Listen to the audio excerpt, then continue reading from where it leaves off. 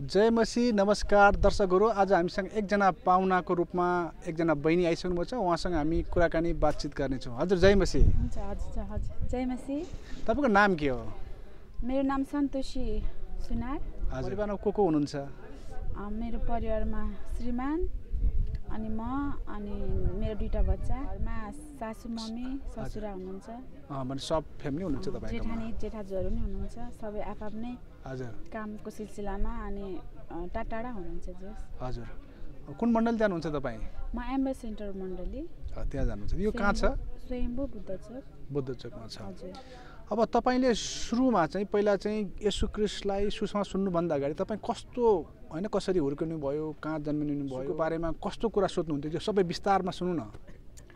म एउटा एकदम कठोर हिन्दू महिला बिहे गर्नुभन्दा अगाडि एउटा नारी भन्नुपर्छ। उता चाहिँ धेरै नै पूजापाठहरू गर्ने अनि मेरो खानदानै एउटा हिन्दू भनौँ न होइन? हाम्रो कमै हुनुहुन्छ विश्वासी। अनि एकदम व्रत सानैदेखि म धेरै अ, हप्तै पछि सोमबार मङ्गलबार व्रत बस्ने अनि हरेक अब यो चाडपर्व महिलाहरूको हुन्छ नि त्यो जस्तो तिजहरू सोमबारको व्रतहरू यस्तो अब स्वस्थानीको व्रतहरूमा चाहिँ एकदम कठोर के? म एक महिनासम्म नुहाएर एक महिनै व्रत बसेर स्वस्थानीको किताबहरू पढ्ने व्यक्ति हुँ म होइन? कठोर थिएँ म त्यो टाइम तपाईँ कहाँ जन्मिनु भयो नि म मेरो नुहाकोट त्रिशुलीमा हो मेरो जन्म। त्यही बेला तपाईँ चाहिँ विशेष गरेर चाहिँ धार्मिक कुरामा विशेष गरेर हिन्दू आस्था अनुसार तपाईँले गर्नुपर्ने कामहरू चाहिँ चाहिँ गर्नु चाहिँ एक प्रकारले चाहिँ सही जीवन जिउनको लागि तपाईँले त्यो गरिरहनु भएको थियो। एउटा त मम्मी पनि मेरो एकदम कठोर हुनुहुन्थ्यो। अनि जुन अब बच्चैदेखि मान्छेहरूलाई के हुन्छ भने अब अहिले म क्रिस्चियन परिवारमा छु। मैले च बाइबल पढ्ने मण्डली जाने परमेश्वरको भजनहरू गाउने भयो भने मेरो बच्चाहरू पनि त्यही कुराहरूमा फलो गर्नुहुन्छ। जस्तो मेरो मम्मी पनि मन्दिर जानुहुन्थ्यो पूजा गर्नुहुन्थ्यो व्रत बस्नुहुन्थ्यो मम्मीबाट नै म चाहिँ यो कुरा चाहिँ म हामी एउटा हाम्रो संस्कार भनौँ न एउटा होइन? स्वाभाविक पनि हो किनभने एउटा आफ्नो आमाले बुवाले चाहिँ आफ्नो आस्था अनुसार बालबच्चालाई डोर्याउनु उहाँको कर्तव्य पनि हो। त्यो अनुसार भयो। तपाईँ चाहिँ त्यो बच्चामा चाहिँ कसरी हुर्कुनु भयो त? कहाँ पढ्नुभयो हजुर। मेरो बालक जीवन भन्नुपर्दा त्रिशुली हायर सेकेन्डरी स्कुलबाटै त्यहीँ जन्मेँ होइन? त्यहीँ पढेँ प्लस टू त्यहीँबाट क्लियर गरेँ। अनि मैले रेडियो नुवाकोट एफएममा पनि तिन वर्ष भोलिन्टियरमा काम गरेँ। अनि म सिलाइमा पनि बच्चैदेखि एकदम इन्ट्रेस्ट थिएँ। बाबा मम्मी मेरो सिलाइ गर्नुहुन्छ। अनि म एकदम सिलाइमा नै अगाडि बढेर अहिले मेरो बुटिक छ स्वयम्भू बुद्ध चोकमा अनि म अहिले बुटिक चलाएर जेस पारिवारिक जीवन खुसी साथ अगाडि बढिरहेको छु। तपाईँले यसो क्रिस्ट पाउनुभन्दा अगाडि यसो क्रिस्टको बारेमा वा भन्न मान्छेले क्रिस्चियन धर्म भन्छन् होइन। त्यो बारेमा तपाईँको सोच वा कसैले सुनाएको सुनाएन त्यो तपाईँको सोच चाहिँ कस्तो थियो? मलाई मन पर्थ्यो मेरो मामाहरू अनि मेरो विशेष गरी मेरो बहिनी ज्वाइँ चाहिँ बहिनी चाहिँ क्रिस्चियन परिवारसँगै बिहे भएको होइन? मेरो ज्वाइँ चाहिँ साजन परिवार हुनुहुन्छ। अनि उहाँले हरेक कुरा सुसमाचार सुनाउनुहुन्थ्यो। हाम्रो भेट भइरहेको थियो। चाडपर्वमा दसैँ तिहारमा आउनु हुँदाखेरि अनि क्रिसमसमा नि इन्भाइट गर्नुहुन्थ्यो। मलाई मन पर्थ्यो। उहाँले उहाँको गीतहरू सुनेर एकदम भित्रैदेखि मलाई एकदम आनन्द लाग्थ्यो। तर कस्तो लाग्थ्यो भने यता छोड्न पनि माया लाग्थ्यो। बच्चैदेखि हिन्दू संस्कारमा हुर्केको आस्था एउटा मनमा हृदयमा उहाँप्रति आस्था भइरहेको थियो आनन्द भइरहेको थियो त्यो चिजलाई छोड्न पनि मन लागि मन नहुने हुन्थ्यो। अनि त्यसरी नै चलिरहेको थियो। उहाँबाटै उहाँले धेरै कुराहरू दिदी यो यस्तो हो भनेर गीतहरूबाट पनि सुनाइराख्नुहुन्थ्यो। यो कुरा यस्तो क्रिसमसमा पनि धेरै हामी भक्तपुरमै कतिचोटि क्रिसमसको लागि उहाँले इन्भाइट गर्नुहुन्थ्यो। हामी जान्थ्यौँ रमाइलो लाग्थ्यो खुसी लाग्थ्यो वचनहरू सुन्दाखेरि एकदम आनन्द आउँथ्यो। चर्च जाँदाखेरि छुट्टै कस्तो मनमा कता कता रुन मन लाग्ने अब कस्तो कस्तो भइरहेको थियो कि? अनि खुसी लागिरहेको थियो म पनि मलाई पहिल्यै म विश्वासी नहुँदाखेरि नि मलाई चाहिँ भजनहरू धेरै चार पाँचवटा भजनहरू पनि आउँथ्यो। म गाउँथेँ बाइबलहरू पनि अध्ययन गर्थेँ। र एकदम राम्रो लाग्थ्यो म हिन्दू हुँदा हिन्दू संसारमा हुँदाखेरि नि एकदम खुसी लाग्थ्यो मलाई। तपाईँले चाहिँ कसरी चाहिँ भन्नु न यसुको तपाईँले अब भजन गर्न सुन्ने वचन पनि सुन्ने क्रिसमसमा जाने गरिरहनु भएको थियो। के कुराले चाहिँ तपाईँलाई चाहिँ यसुमा विश्वास गर्ने त्यो तपाईँलाई निर्णय गर्नुभयो वा हृदयमा कसरी आयो तपाईँको? परमेश्वरलाई मैले चुन्नुभन्दा अगाडि चाहिँ एकदम ठुलो घटना नै भन्नुपर्छ। परमेश्वरले त मलाई पहिल्यै चुनिसक्नु भएको थियो तर मैले उहाँलाई चाहिँ चुन्न सकेको थिइनँ चिन्न सकेको थिइनँ होइन? जब मेरो मैले पहिला मेरो नानी छ अहिले नौ वर्ष भयो सुशान्ती होइन? त्यसपछि मेरो बाबु भयो अनि मेरो श्रीमान चाहिँ कामको सिलसिलामा इन्डियामा हुनुहुन्थ्यो। उहाँ नानी बाबु बाइस दिन हुँदाखेरि उहाँ इन्डिया जानुभयो अनि बाबु हुर्किँदै थियो जब हामी हिन्दू संस्कारमा भएपछि छ महिना भएपछि चाहिँ बच्चालाई पास्ने गर्ने भात खुलाइ गर्ने भन्ने कुराहरू मेरो अब माइती परिवारबाट पनि अब नाति भएको खुसीले होइन अब पहिला नानी थियो अब बाबु भयो अब ज्वाइँ नभए पनि गर्नुपर्छ भनेर मम्मीहरूले पनि आफ्नो संस्कार अनुसार चाहिँ सामानहरू तयारी गर्दै हुनुहुन्थ्यो अनि मेरो श्रीमानले नि गर म त आउन पाउ पाउँदिनँ। तिमीले अब आफ्नो परि आफ्नो आफन्तहरू सबैजना बोलाऊ यता दुईपट्टि नै राम्रैसँग गर भनेर। त्यही अनुसार हाम्रो पुरा भिडियो कल हुँदा हुँदै बाबु पास्ने गर्ने त्यस्तै बिस गतिको डेट थियो होइन। हामीले त्यही पाँच छ गतेतिर चाहिँ त्यो कुराहरू गर्दै थियौँ कि। अनि त्यसपछि एक्कासी बाबुलाई उल्टी हुन थाल्यो।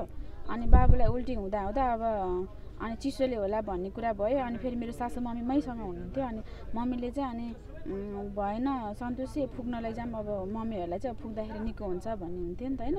अनि मम्मीले चाहिँ फुक्न लैजाऊँ भन्नुभयो अनि फुक्न लिएर गयौँ। अनि बिहा दिउँसोतिर भुमेट गर्दा गर्दा अनि फुक्नु लिएर गयौँ। फुकेर ल्याएर पनि सन्चो भएन। अनि नजिकै घर नजिकै एउटा क्लिनिक थियो अनि त्यहाँ लिएर गएर अनि खोइ बाबुलाई यस्तो भुमेट गरेको रहेछ दुध खाए दुधै छाड्छ अब पास्ने गरेको थिएन पास्ने नगर्नुभन्दा अगाडि केही खुलाउन नि त आमाको दुध बाहेक दुधले पुगिरहेको बच्चालाई चाहिँ अरू चिजहरू खुलाउन। खालि दुध खाए दुधै भुमेट गर्छ दुध खाए दुधै भुमेट गर्छ अनि अनि त्यहाँ मेडिकल लगेपछि चाहिँ एउटा दबाई दिनुभएको थियो ट्याक्क लगाएर भुमेट चाहिँ रोक्यो त्यो दबाईले होइन? त्यसपछि फेरि राति अब चिसोले होला भनेर तेल लाउने दिदी नै आउनुभयो अनि उहाँले चाहिँ कोइलाहरू सबै रेडी गरेर अब तेल लाउनु पऱ्यो भनेर सात बजेको टाइमतिर अनि हिटर पनि खोल्यौँ अनि कोइला पनि रेडी गरेर तेल लाउनु पऱ्यो भनेर जब तेल लाउन लागेको त बाबुले यति धेरै डाइरिया गऱ्यो कि त्यो तेल लाउने डस्नाहरू सबै मेरो कपडाहरू सबै भिजेर यति धेरै डाइरिया गऱ्यो कि एक्कासी त्यस्तो डाइरिया भयो अनि तारम तार तारम तार भएको भयो भएको भयो दस भइसक्यो। त्यो सफा गरेछ बसेछौँ सफा गरेछौँ बसेछौँ हुँदै हुँदैन बच्चा त। अनि सिकिस्तै भयो रातिको बाह्र बजे मेरो दादा नजिकै हुनुहुन्थ्यो मेरो आफ्नै दादा। उहाँलाई कल गरेर अनि हस्पिटल लग्यौँ। पहिला कान्ति हस्पिटल लग्यौँ होइन। अनि त्यहाँ भर्ना गरिसकेपछि चाहिँ भर्ना गर्नु पर्दैन भने अनि बाबुले चाहिँ जीवन जल पानी छ महिनाको बच्चाले एक लिटर जीवन जल पानी एक डेढ घन्टामा उसले खाएको कि? अनि त्यस्तो बाबु पनि अहिले एक्टिभै जस्तो थियो अनि खायो। अनि त्यसपछि ठिक हुन्छ तपाईँको बच्चाले जीवन जल खाएको छ भर्ना गर्नु पर्दैन। दबाईहरू लेखिदिएको छु निकै हुन्छ। यो चिसोको कारणले अनि बच्चा अब यस्तो हुन्छ भनेर भन्नुभयो। अनि होला भनेर घर आयौँ। अनि धेरै दिनसम्म त्यस्तो हुँदा हुँदा बच्चा त सिकिस्तै भइसक्यो कि? निको हुँदैन फुक्न पनि लागेको छ। म औ दबाईहरू पनि खाइरहेको छ हुँदै हुँदैन। अनि म यत्तिकै आत्तिएर टेन्सन लिएर बसिरहेको थिएँ। अब के गर्ने होला भनेर अनि एउटा भाइले चाहिँ त्यो बालमा अन्तर्राष्ट्रिय बालमन्टी हस्पिटलमा बच्चाहरूको राम्रो ट्रिटमेन्ट हुन्छ त्यहाँ लैजानु भनेर त्यहाँ छिमेकी भाइले चाहिँ मलाई भन्नुभयो कि त्यहाँ अस्ति पनि यस्तै डाइरियाबाट एउटा बच्चाको डेट भयो। छिटो लैजानु ढिला नगर्नु भन्यो हुन पनि बाबु त्यत्रो त्यो टाइममा बाबु पन् बाह्र किलो जति पुगिसकेको थियो कि वेट एकदम राम्रो वेट जन्मेको नर्मल जन्मेको एकदम हेल्दी बच्चा।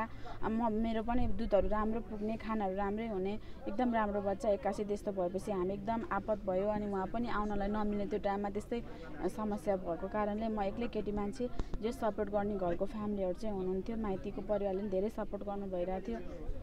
अनि मलाई अलिकति आत्मबल चाहिँ बढिरहेको थियो होइन। अनि त्यो हस्पिटल लगेर तुरुन्तै भर्ना लिनुभयो। अनि भर्ना लिएर दस दिन जति एउटा छुट्टै एउटा रुम हुँदोरहेछ त्यो रुम लिएर अनि दस दिनसम्म भर्ना गरेर राख्यो ट्रिटमेन्ट गरेको रहेछ है। त्यत्रो सानो बच्चालाई भिडियो एक्सरे गरेको रहेछ। केही छैन तपाईँलाई दुधमा इन्फेक्सन इन्फेक्सन छ भन्नुभयो। सबै पेटमा चार पाँचचोटि भिडियो एक्सरे गर्दा पनि बाबुलाई केही देखेन। मात्र मै मैमै खराबी छ भनेर भन्नुभयो कि अनि त्यसो भनेपछि अनि ए होला भनेर अनि बच्चालाई दस दिनसम्म छुट्टै बट्टा बट्टाको दुध हस्पिटलमा दिनुभयो। अनि दस दिनपछि तपाईँको बच्चा नर्मल छ अब डिस्चार्ज हुन्छ भोलि भनेर भन्नुभयो होइन? अनि अनि म चाहिँ धेरै बाबुको पिरले एकदम विक नि भइरहेको थियो। छल्ला जस्तो हुने छोप्ला जस्तो हुने मलाई डिप्रेसनमै पुग्न लागिसकेको थिएँ कि।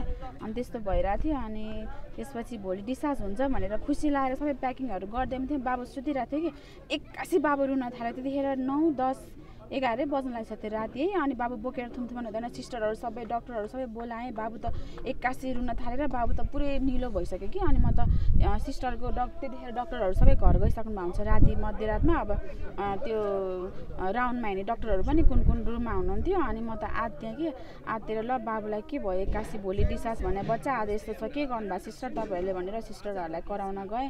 तपाईँ नआत्तिनु भनेर भन्नुभयो। उहाँहरू पनि डराइसक्नु भयो कि।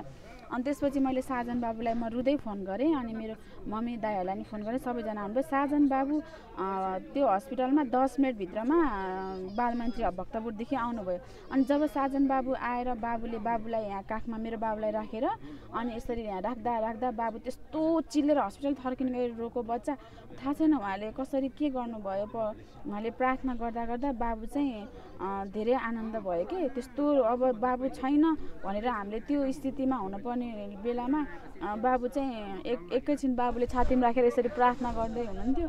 अनि गर्दा गर्दै बाबु एकदम राम्रो भयो कि? अनि सबैतिरबाट फोन भयो अनि भिडियो कल भयो ल यस्तो यस्तो भयो थियो यस्तो यस्तो गरेर सन्चो भयो भन्दाखेरि ल त्यसो भयो। अनि मेरो श्रीमानले पनि भन्नुभयो अब भोलि नै अहिले ग्रहण गर अब सबै चिज तोडिदियो अब हुँदैन यसरी अब हाम्रो घरमा फेरि कोही हिन्दू कोही क्रिस्चियन भएको कारणले नि यस्तो ऊ भइरहेको छ। अब हामीलाई जुन कुरा गरेर हामीले दिनरात पूजा गरेर गर्दाखेरि पनि त्यही चिजले हामीलाई यस्तो हानि पुर्याउँछ भने त्यो चिज किन मान्नु भनेर भोलिपल्टै मेरो दिदी भिनाजु मामाको छोरी ज्वाइँ हुनुहुन्छ पावल भुषाल र जयन्ती भु उहाँहरूले चाहिँ आएर ग्रहण घरमै आएर ग्रहण गराउनु भयो प्रार्थना गर्नुभयो। होइन? अनि प्रार्थना गरेर तुरुन्तै ग्रहणहरू सबै फालेर अनि गरेँ। प्रार्थना गरेर अनि तुरुन्त त्यो बेलामा मैले परमेश्वरलाई पाएँ। परमेश्वरमा यति ठुलो शक्ति हुन्छ यति धेरै त्याग तपस्या हुन्छ कि उहाँले हाम्रो लागि जे कुरा पनि जब हामीले चाहेको हुँदैन त्यही कुरा हामीलाई दिइराख्नु भएको हुन्छ। हामीले नसोचेको कुराहरू पनि उहाँले दिइराख्नु भएको हुन्छ। यति ठुलो शक्ति रहेछ। अहिले मैले तिन वर्ष पुरा भएर चार वर्ष लाग्यो प्रभुलाई पाएको र उहाँ उहाँ योभन्दा अगाडि पहिलाको जीवन र म अहिलेको जीवनमा म एकदम आनन्द लाग्छ। दुःख पिर मान्छेको जीवन हो संसारमा छौँ हामी होइन? धेरै ऊहरू उतार चढावहरू आइरहेको छ तर परमेश्वर साथमा हुनुहुन्छ तर हामीलाई त्यो कुराको केही कमी केही आत्तिने त्यस्तो केही हुँदैन जस्तो लाग्छ कि मलाई? अब यो हुँदाखेरि अनि बाबुलाई त्यसपछि के भयो? निको भयो वा फेरि औषधि उपचार गर्नु पर्यो? के गर्नु पर्यो?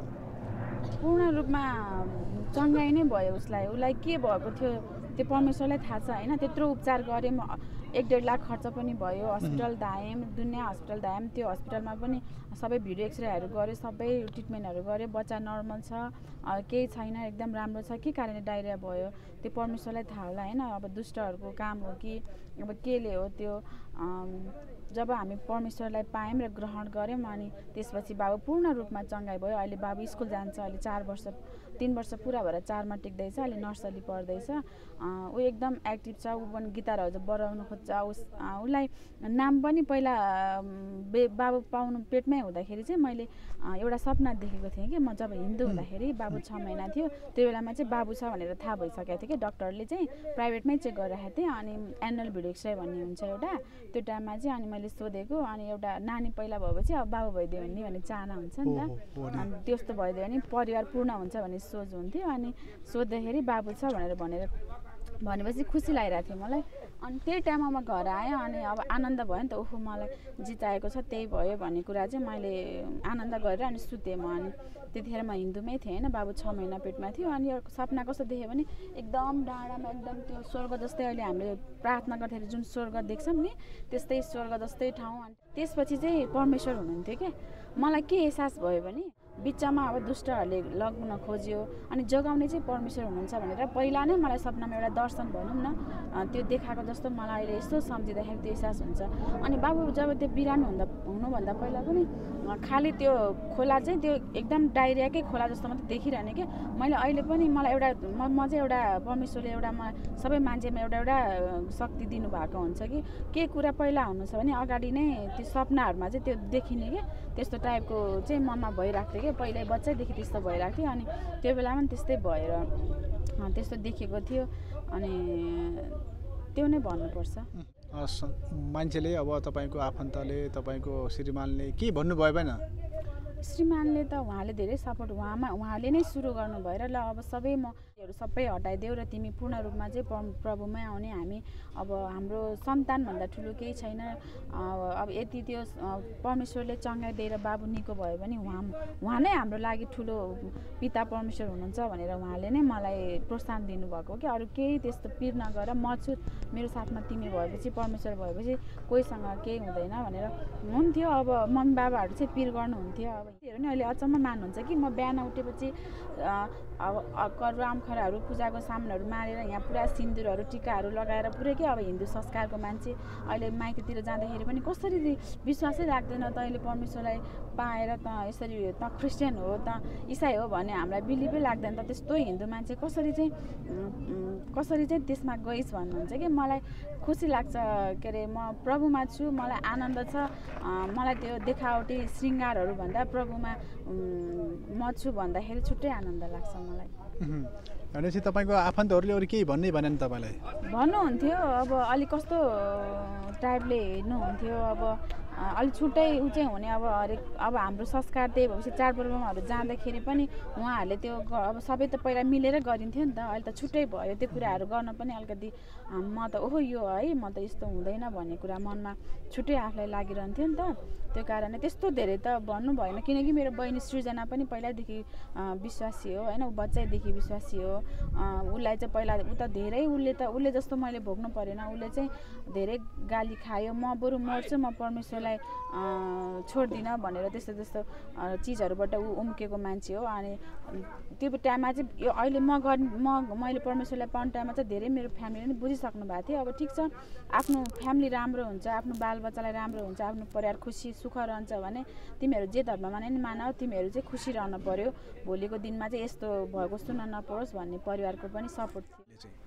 त्यो बेलामा के हुन्थ्यो जस्तो लाग्थ्यो? यदि विश्वास नगर्नुभएको भए।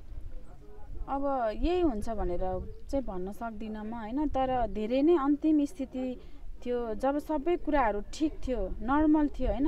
तर पनि बाबु अब त्यत्रो ठुलो वेट भएको बच्चाको छाला मात्रै त बाँकी थियो कि यसरी तान्दाखेरि। अनि त्यति बाह्र छ महिनामा बाह्र किलो पाउने चार किलो जन्मेको बच्चा अब दिनदिनै बच्चाहरू त बढ्छ नि त होइन?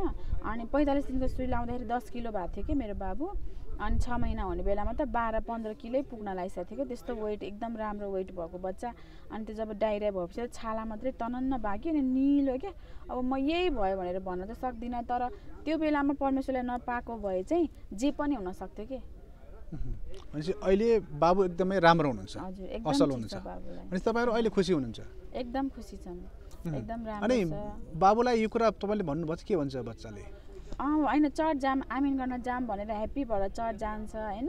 अनि गिटारहरू सानो किनिदिएको छु अनि बाबु कोयर ग्रुपको छेउमा बसेर गिटारहरू बजाउँछ भजनहरू गाउन खोज्छ। अब सानै छ अब भर्खर भर्खर बोल बोलीहरू आउँदैछ अब ऊ हुर्काउँदैछ प्रभुले उसलाई हुर्काउँदै हुनुहुन्छ उसलाई सिकाउँदै हुनुहुन्छ गाउन बजाउन।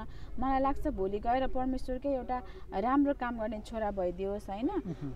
परमेश्वरको महिमा गर्ने परमेश्वरका ठुला ठुला काम गर्ने जुन नेपालमा जति पनि पिछड अब जति पनि पीडामा भएको जति पनि विश्वास नगरेका मान्छेहरूलाई चाहिँ उसले विश्वास गराउन सकोस्।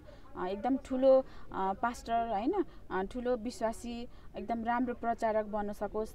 नेपाल मात्रै नभइकन वर्ल्डमा गएर चाहिँ मेरो बाबुले नाम चलाओस् कि यही जुन चिज उसले साइमनलाई परमेश्वरले उठाउनु भएको छ उसलाई बचाउनु भएको छ के को लागि उठाउनु भएको छ त्यो काम चाहिँ पुरा गर्न सकोस् भन्न चाहन्छु तपाईँको जीवनमा के देखिन्छ भने तपाईँको छोराको कारणले तपाईँ तपाईँको जीवनमा एउटा भनौँ तपाईँले एउटा ठोस निर्णय लिनुभयो। यसु क्रिस्टमा मा चाहिँ जानको निम्ति उहाँलाई विश्वास गर्नको निम्ति र विश्वास पनि गर्नुभयो। अब अबको पाटो तपाईँको जीवनमा वा के छ? तपाईँको परिवारको उद्देश्य वा त तपाईँको उद्देश्यहरू के छ? मेरो उद्देश्य भन्दा नि अब मेरो व्यवसाय छ एउटा होइन? अनि श्रीमानको छुट्टै व्यवसाय छ एउटा अनि बच्चाहरू दुइटा छन्। अब अहिले अब दुइटा बच्चाहरू काठमाडौँमा छौँ हामी त्यसको लागि अब कमाउनु नि पऱ्यो होइन? मेरो छुट्टै एउटा बुटिक छ कि त्यसलाई अझै राम्रै परमेश्वरले धेरै आशिष गर्नुभएको छ राम्रै चलिरहेको छ। अझै अगाडि बढ्न सकौँ त्यसको लागि धेरै आशिष प्रार्थना खाँचो छ मलाई होइन? अझै राम्रो होस्।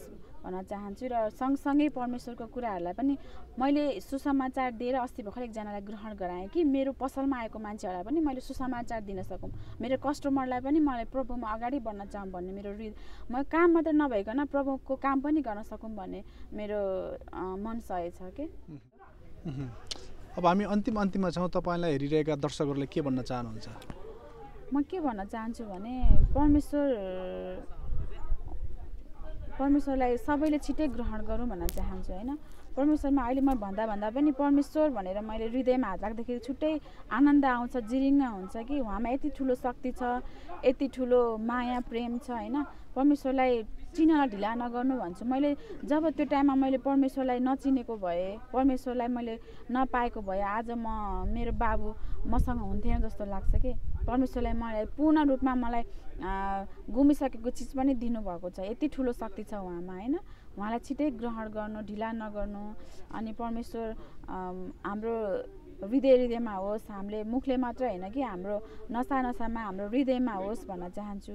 सबै विश्वासी अविश्वासीहरूले छिटै परमेश्वरको मुक्तिको बाटो हामी स्वर्गको ढोका खोलिदि खोल्नु भइसकेको छ। त्यसको लागि चाहिँ हामीले त्यो ठाउँ रोज्नुपर्छ भन् भन्न चाहन्छु सबैजनालाई।